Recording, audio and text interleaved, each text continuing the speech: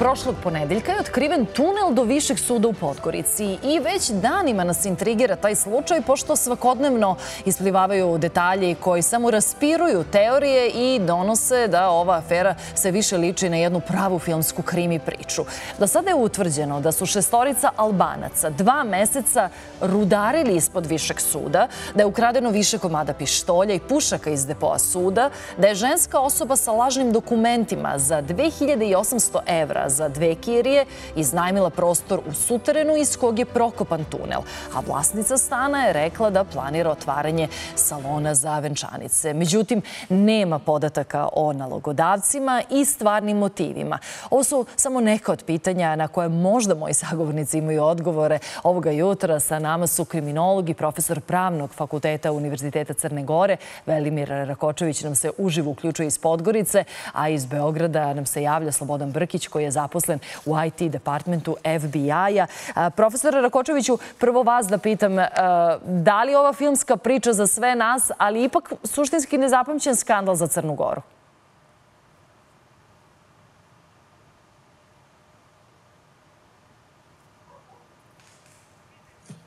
Da, nažalost imamo malih tehničkih problema, ali evo zato ćemo gospodina Brkića uključiti odmah u razgovor. Kako vama izgleda sve ovo, bar na osnovu ovih informacija koje možemo da saznamo a, iz medija? Izgleda mi, kao što ste sami rekli, kao filmska priča, s obzirom na, na činjenice, na podatke i na to šta se tačno desilo. Da, i ono što je premijera Bazović rekao u novinarima u Nikšiću, on je rekao da početak kopanja tunela se simptomatično ili ne poklapa i uklapa sa zahtevom američkog FBI-a da pomogne u istrazi ubistva Duška Jovanovića, glavnog urednika Dana. Kako funkcioniše inače e, sistem razmene informacija i podataka FBI-a sa drugim službama? Pazite, svaka služba ima određene sporazume sa drugim službama unutar svoje zemlje i internacionalno, znači sa drugim službama e, drugih država. Pogotovo ako se ti interesi određenih država ili službi podudaraju jedan s drugim. Po pitanju FBI-a, što se tiče FBI-a, FBI funkcioniše, e, može da deli određene informacije putem takozvanog Privacy Act Title 5 To je jedan od aktova koji reguliše e, sharing information, znači deljenje informacija. United States Code Section 552A. To je e, tačan naziv tog akta uz pomoć koga se dele informacije i onda na osnovu tog e, zakonskog akta informacije mogu biti podeljene ili drugim agencijama unutar samih Sjedinih američkih država ili nekim drugim službama u ovom slučaju što se tiče Crne Gore. A da li bi u tom slučaju FBI morao da ima neki interes i koji bi interes u ovom slučaju bio FBI-a?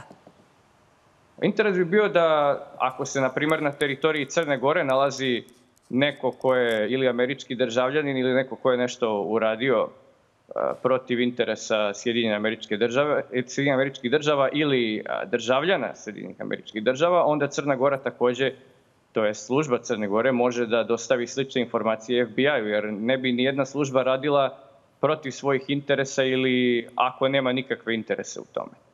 Da, ono što se navodi poslednjih dana, šta je to što bi moglo da bude pravi razlog za kopanje a, tog tunela? Ja vas sad pitam kao stručnjaka za sajber bezbednost. A, a, jedan od scenarija koje se navodi da u stvari na nekom laptopu ili mobilnom, mobilnom telefonu je možda bilo nešto vredno. Da li a, mislite da je to moguće, da je na nekom telefonu ili laptopu, da je on vodio do nekih vrednih kriptovaluta i da je to bio razlog e, zbog koga se probilo u depo? S obzirom na to da se nalazimo u, u 21. veku, znači u veku e, razvoja tehnologije, da, da se sve digitalizuje, da se ništa ne može uraditi bez ranije računara, sad boga mi telefona, vrlo je moguće da postoji ne jedan nego više uređaja na kojima se, koji, koji su pohranili ili sačuvali dosta važnih i vrednih informacija, a takođe i kriptovalute su vrlo popularne danas. Velike krađe se dešavaju u vezi sa kriptovalutama ili putem kriptovaluta, tako da velika je mogućnost. Ne isključujete tu mogućnost. Evo, uspeli smo da stupimo u kontakt i sa profesorom Rakočevićem. Ne znam da ste čuli našeg sagovornika, ali pitanje koje sam mu postavila je bilo šta je zaista pravi motiv za probijanje ovog tunela. Nezvanično smo saznali da je možda nešto vredno što se nalazilo na nekom uređaju, na nekom laptopu ili mobilnom telefonu. Je li ima nekih poslednjih informacija kako se sve ovo u poslednjih nedelju dana rasplelo i da li imate neku informaciju više o svemu ovome? Prvo pozdrav svima vama iz Podgorice. Znate kako, vrlo, vrlo je teško u ovom trenutku dati neki konačan odgovor. Ima više verzija između ostalo kada ste rekli i da, da su pokušali otuđiti neke dakle laptopove prije svega što se tiče onog najčuvenijeg vjerovatno do sada to je Doc Vona on je na drugom mjestu. Dakle, što s toga tiče, on nije bio u ovom depovu. Inače, više verzija i, i zaista, ja ću vam samo reći nekoliko koje su u, u optisaju za sada. Dakle, prva je i ona ključna da se kontaminiraju ili prosto otuđe neki dokaz. Zbog toga i sad ovo kvalifikovano kao dakle, e, teška krađa, a više se radi o, o krivičnim dijelima protiv pravosuđa, prvashodno krivično dijelo sprečavanje, dokazivanje i tome slično. To je jedna, jedna strana priče, pogotovo imajući uvijek da smo i tekako opterećeni zbog toga što je, kao što znate, e, u pitanju su dva planetarno najpoznatija kriminalna klana sa, ovim prostor, sa ovih prostora i naravno njihova opasnost i, i prosto sve to što su do sada posledice zaista i najveći pesimisti nije to moglo očekivati. Jedno je dakle vezano za otuđenje, odnosno kontaminaciju dokaza. Druga a, varijanta jeste vezana takođe za eventualni pokušaj bijegstva lica koja bi bila privedena na suđenje u višem sudu, imajući u vidu da je zatvor dobo obezbijeđen, a i samo sprovođenje takođe pojačano, a ovdje se radi o prostoru koji je direktno povezan sa ovim depom višeg suda. Naravno, treba imati u vidu da je ovdje, i zbog toga je to posebna opasnost, ovdje se nalaze svi ključni dokazi, dakle sve ono što su predmeti krivičnih dijela, sredstva izvršenja i tako dalje u posljednjih 30 godina. Jer nadležnost višeg suda je upravo za ta najteža krivična dijela, uključujući i specijalno odeljenje. Tako da ovo zaista do sada najjači udar na pravosni sistem Crne Gore, a i na državu u cijelini. A da li, su, da li to sada znači da su određeni dokazi kontaminirani? Da li su to dokazi za neke aktivne slučajeve? Pa znate kako, čim je neko imao vremena da ulazi u, u taj depo, da pretura prete, da vršlja, pa znate kako, jedan trak, pogotovo biološki, može disanjem da se uništi. I u tom smislu već je, nažalost, šteta neprocijenjiva nanijeta, pogotovo imajući u vidu da se e, pojavi potreba, recimo, čak i oni predmeti koji su okončani, da se naknadu izvrši uvid, pa čak i Ustavni sud može da, da odredi dakle ponovno odlučivanje, tako da mi u ovom trenutku do detaljnog popisa još uvijek ne možemo znati kakva je šteta nanesena do sada. Da, ono što sam takođe htela da vas pitam, da li su tu dokazi koji su već veštačeni, ukoliko je to pregledano, veštačeno i ako je odloženo, da li bez obzira što su oni sada nestali, je to na neki način menja slučaj? Znate kako, tu ima i onih naravno predmeta e, gdje je suđenje u toku. Naravno ima i pravosnažno okončanih predmeta.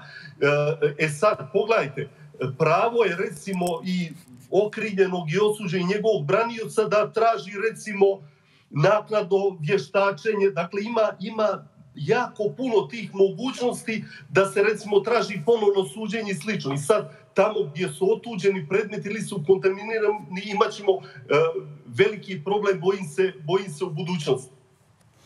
Da, šta je sve problematično u ovom slučaju, to se svi uh, pitaju. Jel vam se čini da je ovo najveći skandal za Crnu Goru? Evo, malo pre rekao ste za pravosuđe, da, za Crnu Goru Znate kako, e, zaista jeste, ovo je, ovo je veliki udar na, na državu, pogotovo imajući u vidu mjesto izvršenja gdje se nalazi sjedište ključnih institucija u državi i onda svi smo se zapitali gdje nam je ta kontrobaveštana zašta, radili su uopšte išta preventivno, išta proaktivno ili, ili treba da budemo zatečeni i djelujemo na posljedice. Jeste zaista veliki, veliki naravno, e, da kažem, veliki propust kompletno obaveštenog bezbjednostnog sektora i ono što je također jako loše jeste da će to i nepovjerenje građana e, u institucije sistema biti pojačano, a sve ostale negativne implikacije tek će se u budućnosti vidjeti. Da, gospodine Brkiću, vi godinama takođe pratite bezbednostni sektor. E, da li je nekada viđeno nešto slično ovome čemu smo svedočili u Podgorici? Takve stvari se dešavaju, nažalost, e, širom sveta. Ovo nije e, jedinstven slučaj, ali naravno na našim prostorima može tako da se kaže da je jedan od najtragičnijih i najjedinstvenijih slučajeva. A što se tiče ovih bezbednostnih propusta, svakako digitalizacija mora da se obavlja što brže moguće i mora da se pazi na svaki mogući korak, jer nije više to samo pitanje fizičkog obezbeđivanja određene zgrade ili institucije, nego takođe sve više se dolazi do zaključka da su sajber krađe mnogo opasnije nego i ove druge krađe. Mnoge škole, bolnice, institucije širom sveta napadane su znači, svaki dan i milioni i milioni dolara se kradu ili putem kriptovaluta ili putem hakerskih ili ransomware napada, tako da slučajeva, nažalost, ima, ali ovo je neki... A samo da vas pitam, gospodine Brkiću, ukoliko se ustanovi da ono što su nagađanja, to je da su motiv bile kriptovalute, da li to onda mogu da detektuju jedino neke posebne službe? Ko može to da ustanovi da je to bio motiv i da su oni uzeli nešto, neki uređaj na kojem je bila izuzetna digitalna vrednost? Prvo mora da se proveri uh, ako su neki uređaji otuđeni, koji su uređaji otuđeni i šta se nalazilo na tim uređajima. Ako se ispostavi da su se nalazile određene zalihe kriptovaluta na tim uređajima, naravno to može da se proveri i u Americi to radi i FBI i određene druge službe, ali postoji velika opasnost zbog toga što, baš zbog toga što su kriptovalute kriptovane, znači šifrovane, e, vrlo ih je teško, ako kriminalci dođu do, do nekih podataka putem kriptovaluta ili bilo kojim drugim enkripcijama, nije ih tako lagano uočiti kao ako se radi običnim putem. Da, e, profesore Rakočeviću, kako da razumemo činjenicu da jedan od saradnika e, predsednika Višeg suda u Podgorici, Borisa Savića, odbio da na poligrafu odgovara na pitanje o depovu? Pa da reći vam, kao profesor kriminalistike, e, iako nije dokaz, dakle, poligrafsko testiranje, on je vrlo jaka operativna indicija. I ukoliko nema opravdane razloge, recimo, a oni su e, taksativno navedeni, da odbije poligraf, onda, onda je to vrlo indikativno i vjerovatno u tom pravcu će ići dalja aktivnost na u smislu rasvetljavanja ovog krivičnog dijela. Inače, samo da, da kažem, neke od informacija su što se tiče onih neposrednih učinilaca, dakle, prije svega rudara, popularno rečeno, ovih šest, koliko sad ima informaciju, svih šest su identifikovane, ali to naravno ne znači ništa bez, bez detekcije kompletne kriminalne organizacije koja očigledno stoji za ovog slučaja. Koliki je sada put do potrage za nalogodavcima? Da, bit će, bit će naravno vrlo teško, očigledno sve je dobro pripremano, ako im, a, imajući u vidu novi, nove momente koji se otkrivaju, vidimo da, da ništa nije prepuštano slučaju. Na koje, nove, oči... na koje nove elemente mislite, profesore? Šta je to pa sada što je poslednje obelodanjeno? Upravo, upravo ima, imam u vidu činjenicu prije svega da, da su oni uspjeli da to bude pod velom tajnosti faktički dok su ključe neke stvari odradili. Pitanje i kad su oni ušli u depo, koliko su, oni su očigledno imali vremena da, da i tekako sve pretraže, jer već je uočeno prilikom i prvog uviđaja, a i kasnije da je, da je, da, da je veliki broj predmeta kontaminiran.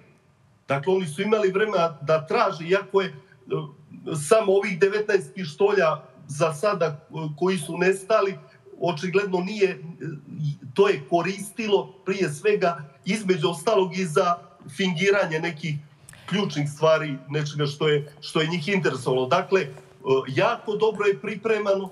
Dakle, A da li to imali... znači, profesore, da li činjenica da kažete da je jako dobro pripremano, da su oni a, dugo a, imali vremena u stvari da, da obave sve što su zamislili u tom depovu, da li je potpuno sada izvesno da su imali neke saučesnike koji su bili dobro upoznati a, sa onim kako taj depo funkcioniše?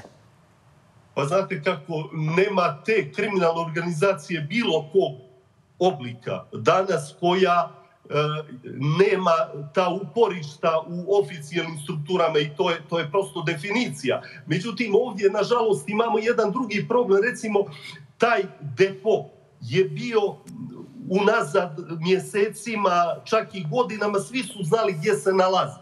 Znate, faktički, samo što nije projekt dat u javnost, tako da, da neke informacije koje bi po definiciji trebale biti tajno karakter ili makar poverljivo, bile su dostupne i imamo jako puno tih elemenata gdje su oni mogli čak i iz javnih izvora da dođu do nekih informacija između ostalog i što se tiče ove rute kopanja tunela, rasporeda prostorija, dakle sve do u, u detalje.